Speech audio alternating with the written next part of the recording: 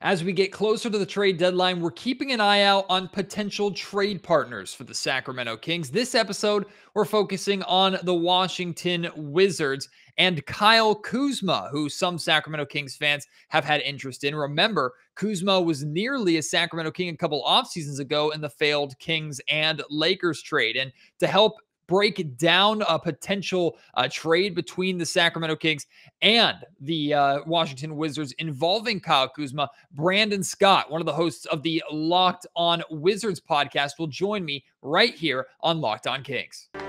You are Locked On Kings, your daily Sacramento Kings podcast, part of the Locked On Podcast Network, your team every day.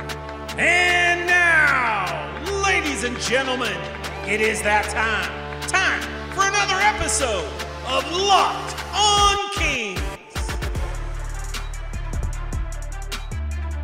Hello and welcome into Locked On Kings, your podcast hub for Sacramento Kings coverage all regular season long. Today, presented by FanDuel Sportsbook. It's the official sportsbook of Locked On. Make every moment more. Visit fanduel.com slash locked on today to get started. My name is Matt George. I have the privilege of being your host here. I'm a Sacramento sports reporter and producer for ABC 10 News. And we're back on our trade partner search here with the trade deadline approaching. And I've talked about before on the Locked On Kings podcast how if I'm the Sacramento Kings approaching this trade deadline, I do not mind having more of a minimalistic approach with how well things are going for this Kings group as a whole right now. I expect any trades that they make to be minor. However, there might be some splash moves out there and, and is a splash move for the Kings acquiring Kyle Kuzma from the Washington Wizards. At the end of this podcast, after this interview, I'm going to share my thoughts and feelings on the potential of acquiring Kuzma, my thoughts on if Kuzma would be a good guy for the Sacramento Kings to go after. I'm saving that for the end of the episode because I really want you to not have my preconceived idea going into uh, this conversation that I have with Brandon. I really enjoyed speaking with him. It's the first time he and I have uh, done anything together. One of the hosts of the Locked On Wizards podcast, but gives us some really good perspective uh, and gives us an idea of, of maybe how open minded the Wizards are to just getting deals done. And that's a little apparent uh, by the Rui Hachimura trade uh, that they pulled off with the Los Angeles Lakers yesterday. Uh, we'll also get some of the insight and some of the uh, thoughts on that move as well from a Washington perspective. So, whether you want the Kings to trade for Kyle Kuzma or not, I hope you enjoy my conversation with Locked On Wizards host Brandon Scott. We had our first major trade of the uh, upcoming trade deadline between the Washington Wizards and the Los Angeles Lakers yesterday. And the Was- Washington Wizards are maybe a potential trade partner for the Sacramento Kings as the trade deadline approaches, or at least some Kings fans are always keeping tabs on what's going on with Kyle Kuzma. And here to talk a little bit more about that and give us an idea of what Kyle Kuzma price tag may be, plus what the Washington Wizards are just trying to do in their approach to this trade deadline, is one of the hosts of the Locked On Wizards podcast, Brandon Scott. Brandon, welcome into Locked On Kings for the first time, my friend. It's a pleasure to talk to you. Yes, sir. Ready to so, talk some Kings basketball. So, first off, I mean, we have to start with the Rui Hachimura trade from yesterday. Like, I'm I'm not going to pretend that Rui Hachimura is having a phenomenal season and has tremendous amounts of value, but I feel like the Wizards could have gotten more than what they got, right? Yeah, I think that they could have got a little more. Now, if you look at the fact that he requested the trade and there was some falling out with the head coach Wes Unseld Jr., it was a necessary move. But I mean, if you look at Rui Hachimura, you know he's a three-level scorer. You know, he was that scoring punch off the bench that really revitalized his team when he came back from injury. But he's not a good defender. And if you look at the fact that he was a restricted free agent who did want to stay, it was a necessary move, but I felt like it was a little rushed. So, yeah, like I said, it was a necessary, but it was a little rushed. I think we could have did better than Kendrick Nunn and three second round picks. So, so where are the Wizards at in terms of this upcoming trade deadline? Is it like blow it up mode? This entire roster is available type thing, or is it no? We'll make we'll make minor moves or moves that make sense here or there, but there's not necessarily a sense of urgency to get stuff done. I truly believe that this team needs to rebuild, but the management from the the owner's office, uh, Ted Leonsis, to general manager Tommy Sheppard, they're intent on not tanking. The, the the owner is famous for saying he'll never tank. Hmm. So they, they want to try to re-sign Kyle Kuzma in the offseason and try to get KP to, to extend here long term. So they're trying to build around the the solid nucleus of the solid three. Me and, me and Ed call them the solid three, not the big three. So so that's kind of where they're at. They want to try to build around Beal, but the crazy part is this: is that Ted Leonsis, the owner, doesn't want to go into the luxury tax.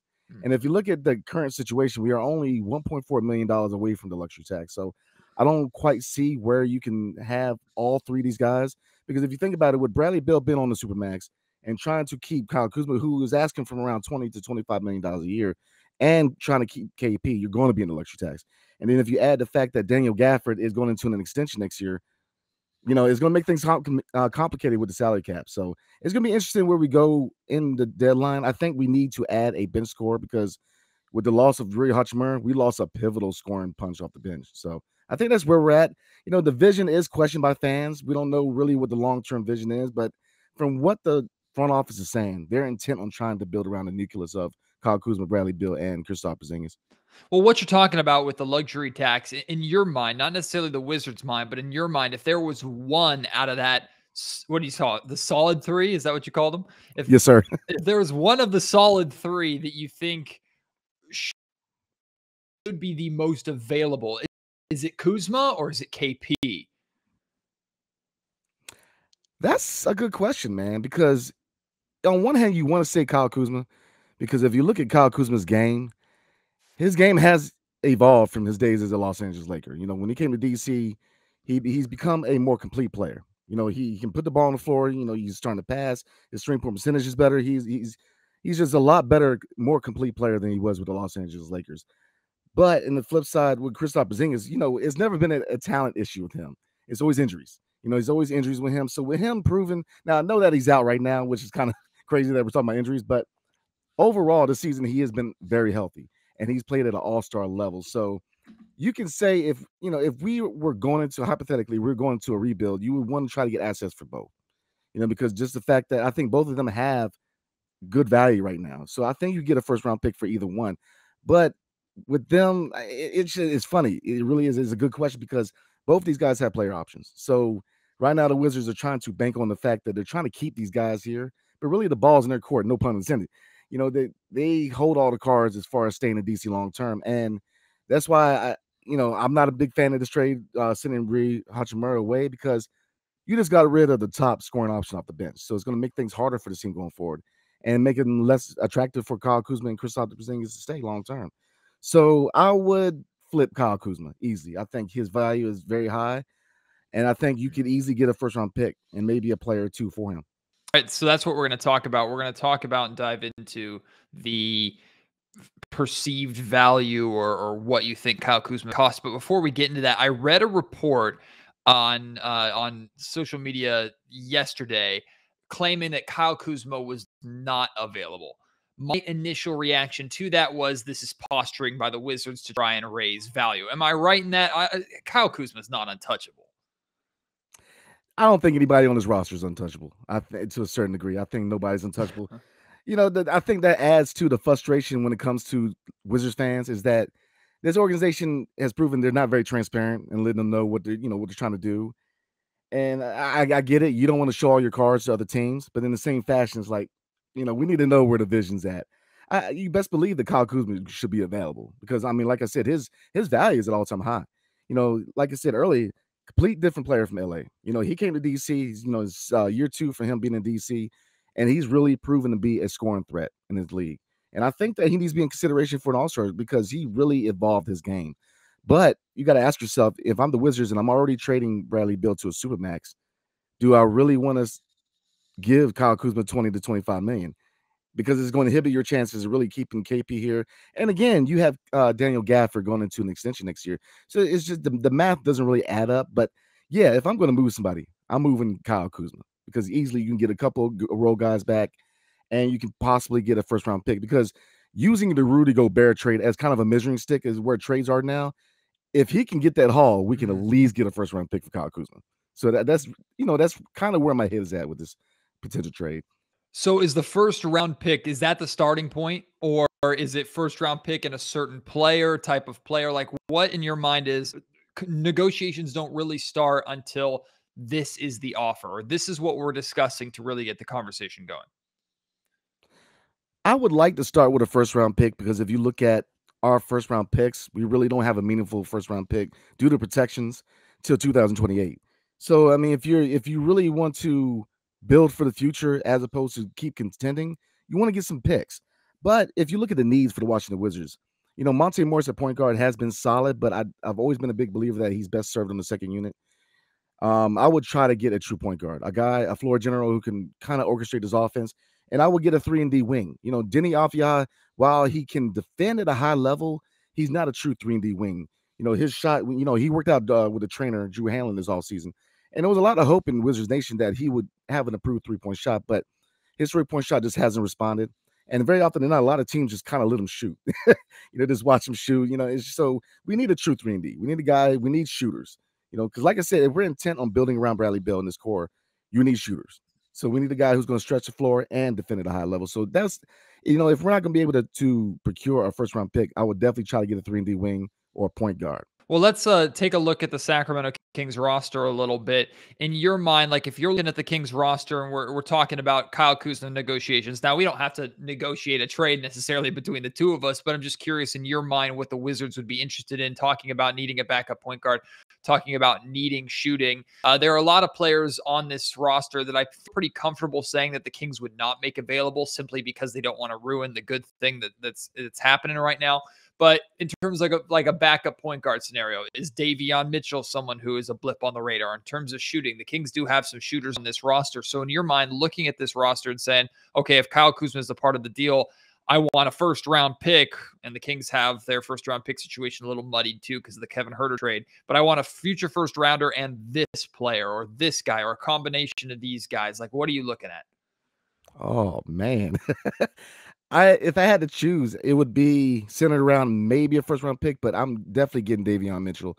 And I'm trying to get Keegan Murray, man. I like Keegan Murray. I'm a big fan of his game. I think he's slowly starting to build up and mm-hmm. be a, a he's gonna be a force in this league. I, I, really liked him coming out of the draft. So yeah, if if we're gonna give up Kyle Kuzma, I would definitely ask for Keegan Murray and Davion Mitchell back. Now, Kevin Huerter is intriguing. You know, he's a University of Maryland product, so he's a local cat.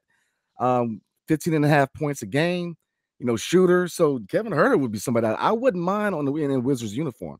But yeah, if, if, we're intent on trading Kyle Kuzma, Keegan Murray would be the asking point, in my opinion. He'll be one of the first people I will talk about coming back to DC. You know, Brandon, that doesn't surprise me at all, but I'm honestly going to tell you how I think that conversation would go. I think Monte McNair immediately stops the conversation. And, and that's in my opinion. Now, I'm that, that might seem like disrespectful towards Kyle Kuzma, um, but and, and it's not necessarily intended to be, but again, that speaks to the Kings have a good thing going here, and they probably don't want to necessarily muddy that up. If the Kings are going to try and acquire Kyle Kuzma, they're trying to do it in the sense that they don't necessarily need Kuzma's offense, but he's just another piece that turns this team into maybe a, a championship contender a year or two uh, down the road and solidifies their playoff spot. So I would say uh, Keegan Murray is off the table. Kevin Huerter might even be too, but uh, that seems a little extreme for me just just to say because of how important he is to the offense. Davion Mitchell, I think there is a chance. So, I mean, I don't know in your mind, like if Davion Mitchell in a, in a first round pick, uh, whether protections, unprotected, whatever it is, like, is that something that the Wizards laugh and hang up the phone, or is that something you think they consider? Well, in my humble opinion, they probably would go for it because the GM is just, yeah, you know, last uh yesterday proved that he's just I'll say this before the, the Rui Hachimura trade, Tommy Sheppard was a good trading GM. Now drafting as a whole another conversation. You know, he he really hasn't hit on any of his first round picks, and I think that's why a lot of people are skeptical with him getting these three second round picks because we really don't value or gotten value out of our first round picks. So, you know, looking at second round picks, why would we expect them to find a diamond in the rough with second rounders? Because if you look at the string of uh, second rounders that the Wizards have have traded or not traded, drafted, None of them have played for the team. they, they've all been overseas acquisitions or so.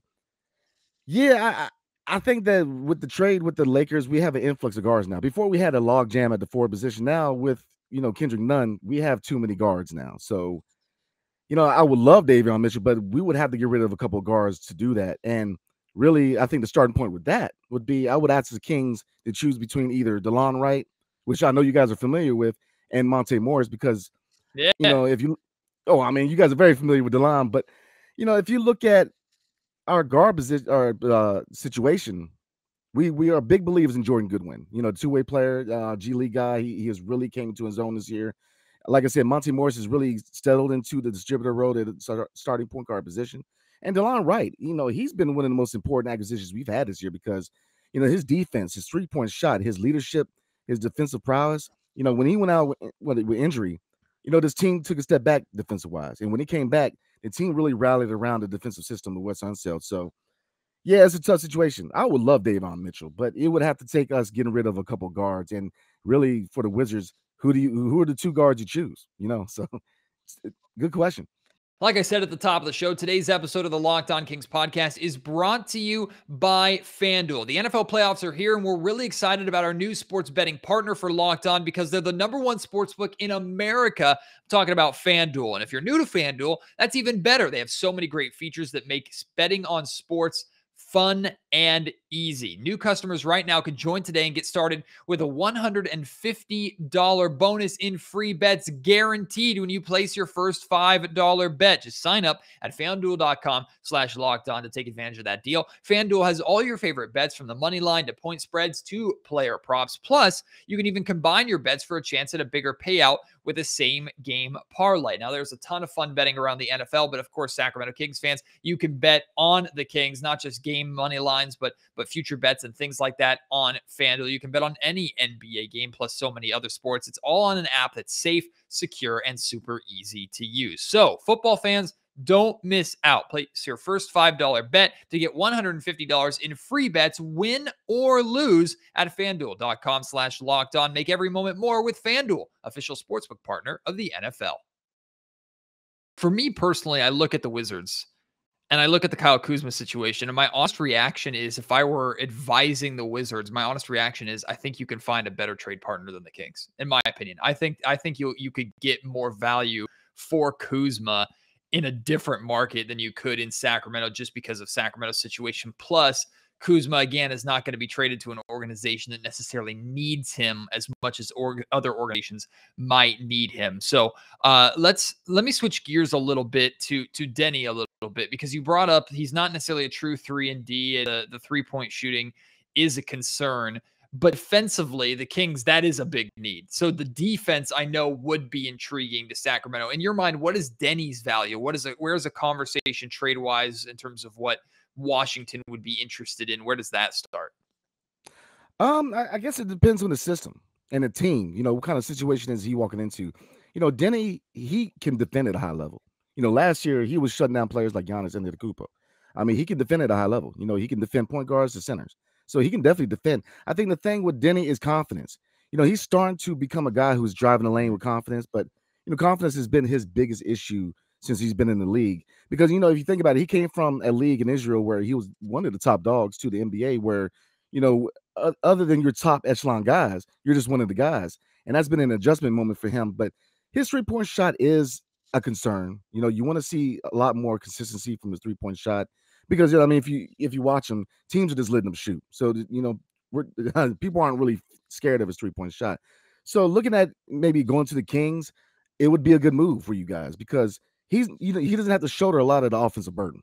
You know, he's there for his defense. So if you're able to get 10, 15 points out of him, and he can rebound at a high level. So yeah, I think it'll be a win-win for you guys. You know, you, are really not dependent on him to be a scorer. You know what I mean? You know, he's there to be a, defensive stopgap. So uh, yeah, absolutely. Defensive wise, he's an outstanding player. It's just the confidence and him really having a confident and consistent jump shot. So you've talked about the need the need for shooting. Terence Davis is a shooter that's potentially available. Richaun Holmes is a big not not to do with shooting, completely different category. Richaun Holmes is a backup center uh, that's available too.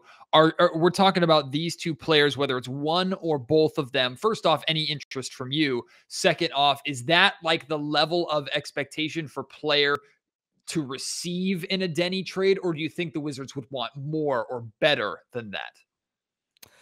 Unfortunately, I'll say this. Um, we tend, and I think we are overvaluing our young core. You know, when I say young core, Johnny Davis, mm-hmm. Corey Kispert, and Deni and Rui. Because if you see the fact that the Wizards tried to trade Rui to the Phoenix Suns for Jae Crowder, and they said no. You know, maybe we're overvaluing our guys. You know, so if we're able to get maybe a good guy back, I I would be happy because, like I said, a defensive guy who can't shoot. It's if you look at the NBA now, it's a perimeter centric league. You know, you, you have centers now who can shoot three point shots. You know, it's not like it was back in the day when you had Patrick Ewing where your center just set set in the paint. No, it, this is a very perimeter centric league now. So you want to see uh, you know guys that have a consistent shot. But so I, I would say that getting a, a, premium guy back, maybe at point guard, maybe at three and D, maybe you know I, I'm I'm very intrigued by Terence Davis. Big fan of his game. And with Sean Holmes, you know, if you look at the fact that the Wizards are employing a bigger lineup, know, we got two centers playing right now. We got KP at the four and mm-hmm. Daniel Gafford at the five. So I'm not opposed to maybe another center being added to this roster either because Taj Gibson is older. You know, he has lost a step. And I definitely think we could use another center. So I'm very intrigued with Holmes and Terence Davis. Brandon, first off, I don't think you're doing anything wrong at all by overvaluing their, your core. Everybody does it in every situation. And I think that's how most general managers also have to approach the situation too, to try and get max value, especially in trade conversations. So I wouldn't feel bad at all by overvaluing the core. I certainly do it here in Sacramento. Uh, but the, the last question that I have, this is like branching into fairy tale land and I and I understand it and I don't think this would ever be a conversation between the Kings and the Wizards. But Bradley Beal has been a topic of trade conversation, the blockbuster trade conversations for years, right? And I'm sure you guys are almost exhausted by it in Washington with how many teams are talking about trying to land Bradley Beal in a big trade. But like, where does that conversation even start? Like, Bradley Beal is not being traded unless we are getting it's it's better than what Rudy Gobert's package was, right? Oh, absolutely. I mean, you got to look at Bradley Beal has a unprecedented contract. You know, he has a no trade clause. If you look at it, Stephen Curry doesn't have no trade clause. I'm just, I'm just saying. You know, if you add the trade kicker, you know, it's going to be a hard contract to move. You know, I think that we set too long on Bradley Beal. You know, if you look at the last offseason where the the Golden State Warriors had the two picks, I believe it was number seven, number 14. They're often Wiseman and Wiggins. I was screaming for the Wizards to take that because it's, it's going to be hard. You know, the fact that we were able to move off the John Wall contract and then move off the Russell Westbrook contract. And if you look at the history in DC with Supermaxes, you know, we, we gave Gilbert Arenas a Supermax. He got hurt. And that really held his franchise down for half a half a decade, if not more. Then you look at John Wall, we gave him the Supermax. He got hurt. So it just it seems like management is kind of falling into the same trap. So it, it's going to be a hard one. But I think that's not going to be untradeable. You know, Bradley Beal is still a player that defense is playing against. You know, he is still a good scorer in this league. Now, his statistically wise, his stats are going down a little bit. He's getting older. And you look at two guards, two guards is one of those positions where longevity is an issue. You know, point guards have a long shelf life in NBA, but two guards, you know, they they tend to they're kind of like running backs in the NFL. You know, they have that they have a shorter shelf life. So yeah, it's, it's not untradeable, but he would have to he would have to be, you know, okay with the trade, obviously with the no trade clause. So it's it's, it's tricky. They they they they gave a lot of you know power to Bradley Beal, and if you look at the fact that you know he is included in discussions when it comes to acquiring players, I just I think that's a part of the problem of DC too. You know, you got I think that just like we complain about Dan Snyder with the Washington Commanders, you know, you got to let the. You know, we always complain about him not letting the football people do their job. I think in DC with the Wizards, we need to let the basketball people do their job. Let the GM do his job, and let the playing be done to Bradley Beal.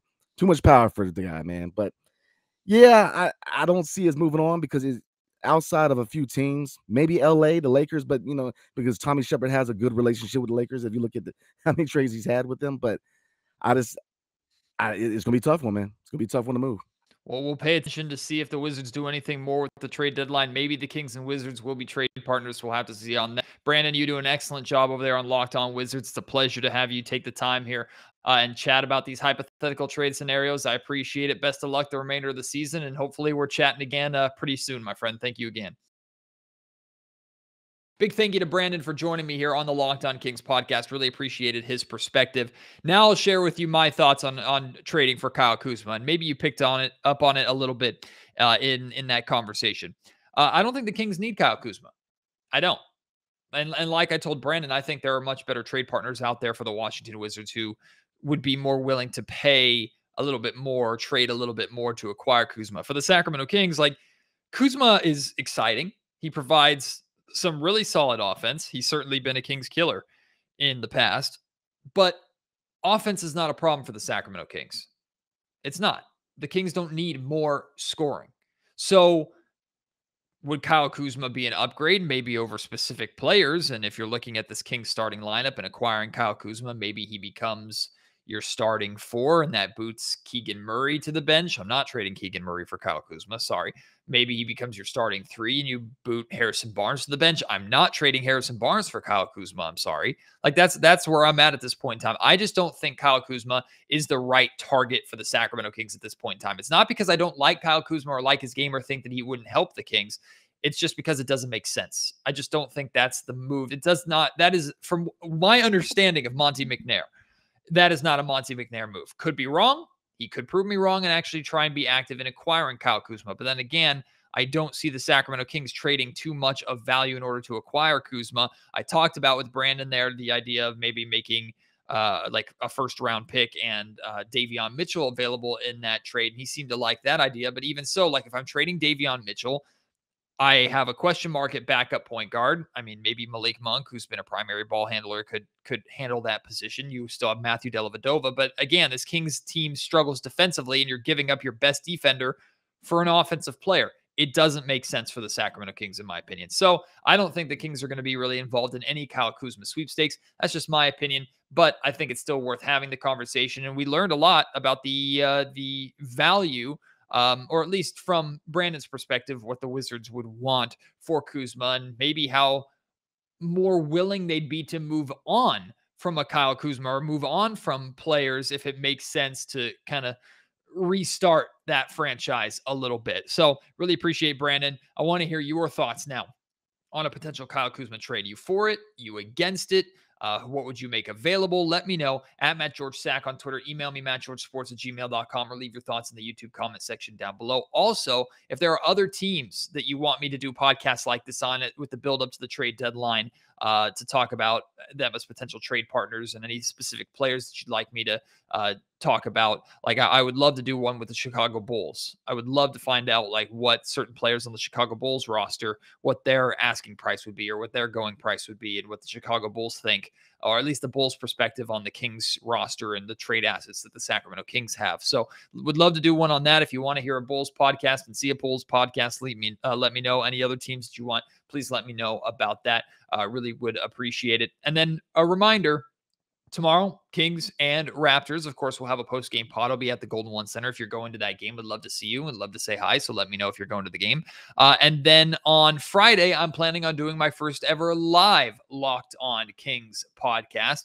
Uh, so I hope you will join me for that. I'll, I'll give more details about when that's going to be a little bit later on uh, in the week on my social media. That's at Matt George Sack. And I'll probably post something on, on YouTube as well uh, for you YouTube viewers so you know when it's going to be uh, going live. So appreciate your support. Again, let me know what you think about the Kyle Kuzma possibility of a trade.